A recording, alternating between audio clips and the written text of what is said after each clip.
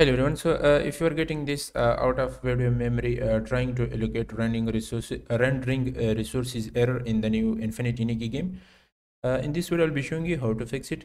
Uh, so the first thing you need to do is to make sure that you have force close all the background app that currently running on your device. So this type of error mostly occur because of background app and when your mem when your CPU is using more than 90% of your RAM memory to uh, press Ctrl Shift and Escape button from your keyboard and open the task manager or simply uh, right click on the window icon and then uh, open the task manager in here. So uh, uh, here you need to force close all the background app. So currently like uh, the game is not launching yet but the CPU is using 44% memory of the RAM.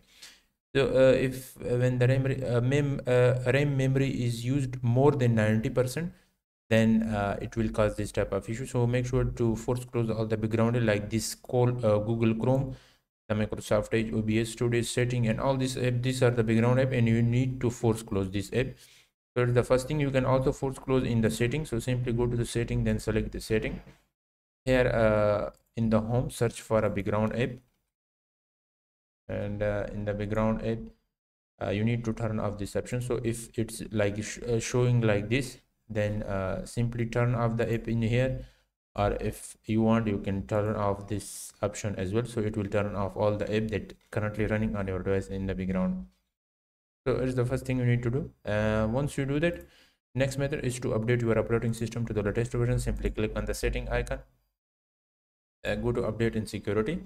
Click on the window update from the side menu and then you need to update your operating system to the latest version so it's the next thing. If uh, the first one is not work for you and uh, also make sure that you have update your uh, graphic card driver to the latest version.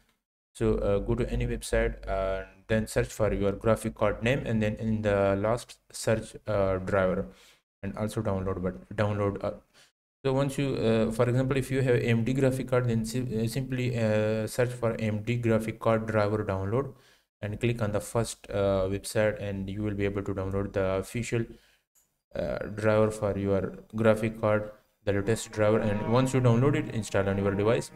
If you have nvidia graphic card then download the nvidia graphic card driver for uh, for your device and install on your device. So uh, once you do all this step uh, that i have shown in the video then simply click on window icon and then restart your device. So it's the next thing uh, I hope one of these method worked for you. Subscribe this channel for more informative like this. Thanks for watching and see you in the next video.